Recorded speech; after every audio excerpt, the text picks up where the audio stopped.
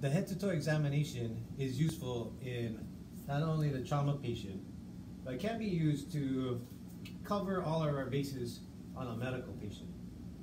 Because in some cases, they may have multiple complaints and we'll have to check multiple body systems. And by doing a detailed head-to-toe exam, we're basically checking the entire body system.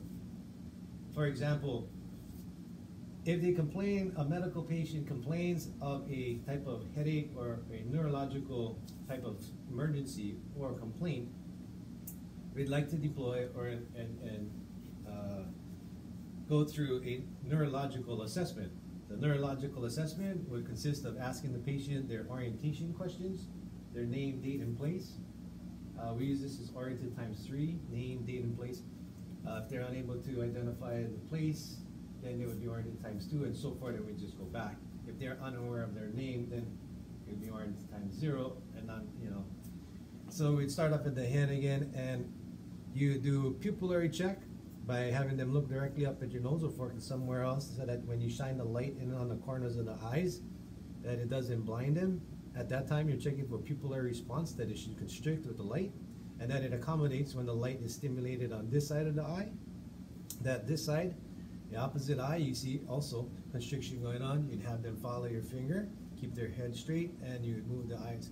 Follow my finger with just your eyes and to check their ocular movement.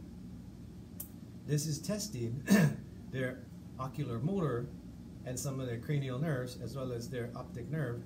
So we're testing their cranial nerves already. Now, as we look at their face, we're looking at their facial expression.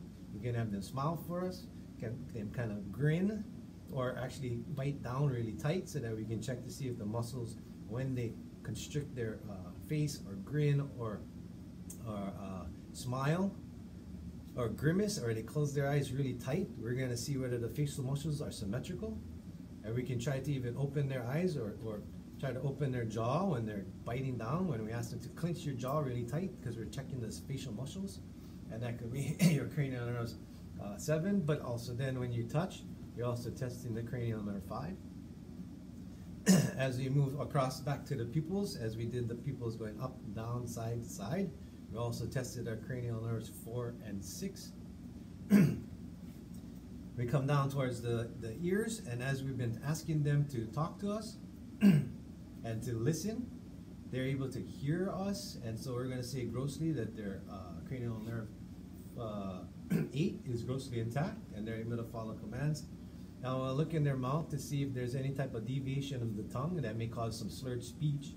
And that would also be our, our uh, cranial nerves uh, 9 and 12. Our accessory muscle, uh, our accessory nerve, cranial nerve uh, 11. We'd have them type of do a shoulder shrug, or as we go down, we're going to deploy the, the pulse motor and sensory to the upper and lower extremities.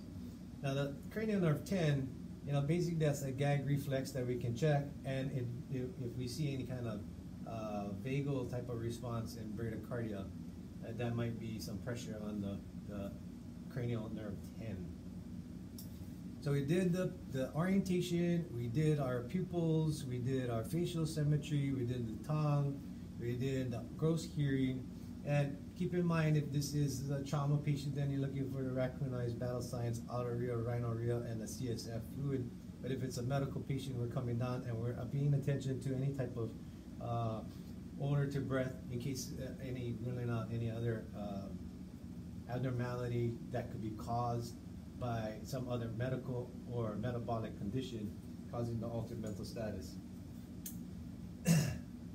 As we come down to the upper extremities, again, we cross our hands over and have them grip, test the grip strength by squeezing my hands as tightly as you can, have them release, we're going to test their sensory by telling them which side am I touching, which side am I touching, which side am I touching now, how about now, and you're not touching anything, they should say no.